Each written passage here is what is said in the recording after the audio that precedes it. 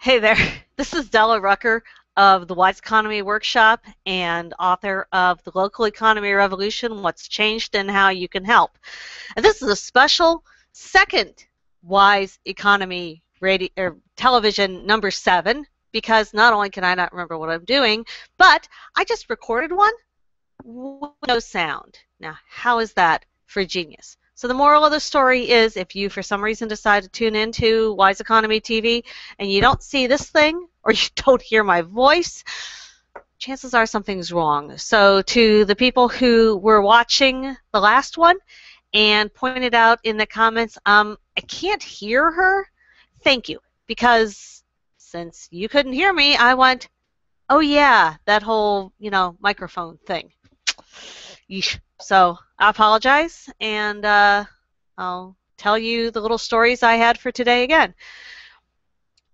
First thing I was I mentioned is uh, just as a heads up that my son, who I refer to in the book, my younger son, um, who I refer to in the local economy revolution, what's changed and how you can help, I refer to him as the divergent creative kid um, of the two of them he's homesick today. So if since I can't edit these once they're running, if he happens to stick his head in, now you know why I've got a kid home mid-afternoon. He's just got a cold. He's been running a little bit of a fever, um, you know, a little bacterial something. He's he's getting better, but he needed another day to kind of be home and get recuperated. Just wanted to share with you We've had some great early responses to the new book from Wise Fool Press called Why This Work Matters Wisdom from the People Who Are Making Communities Better. And that book has been such a delight to put out and such, such a source of encouragement already for so many people. It's really been an honor for me to be able to share that. Uh, initial responses are that people are loving it, as I hoped, that they're finding it encouraging, as I really hoped. And I think that if you haven't seen that book yet, I think you'll find it encouraging as well. It's available for iTunes, for iBook, for Nook, for Kindle, and even in print. And you can find all of those at whythisworkmattersbook.com. The whythisworkmattersbook.com. And just to just to uh, to let you know. If you're looking at the print version, I'll show you this next week, but it's very little.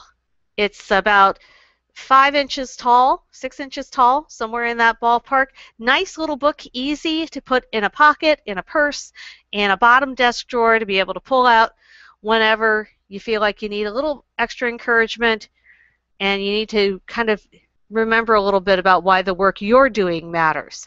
So I hope you'll take a look at that book and I hope that you'll find it encouraging. I know the authors, the 11 authors who contributed to, to it and whose voices you hear in the book have been just thrilled with the response and again that encouragement that they feel like they've been able to give through this publication.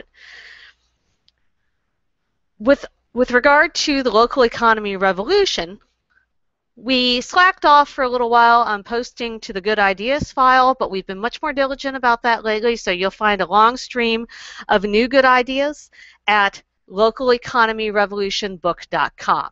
So if you haven't checked those out, the, the Good Ideas file is a blog that gives sort of brief overviews and links to articles on great work, great insights, great commentary coming from all over the world.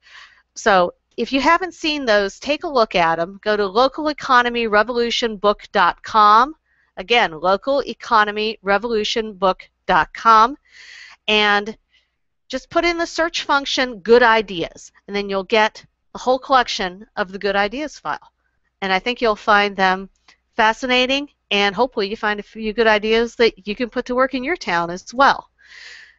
Another thing that you'll find at the localeconomyrevolutionbook.com is audiobooks, mini audiobooks, which are mini um, 5 to 10 minute recordings that we've been doing, putting up a new one roughly once a week, so that people who kind of want to get a taste of the book, maybe are busy, you know, it's hard to find time to read a book sometimes anymore. It's a way to give you a little bit of a taste. There's close to an hour's worth on there now, so it might be a good way for you to start nosing around and see what's happening. If you're on LinkedIn, there's also been a, been a great conversation that's been going on on the Planners Web Planning Commissioners Journal LinkedIn group. The Planners Web is a, is a publication, it's an online publication for people who work with planning commissions, whether they're staff or they're citizen members, and it's information, it's resources, it's, it's uh, help for people who are doing that very frontline work in communities. Wayne Senville, who is the publisher of the, of the book, or the publisher of Planners Web,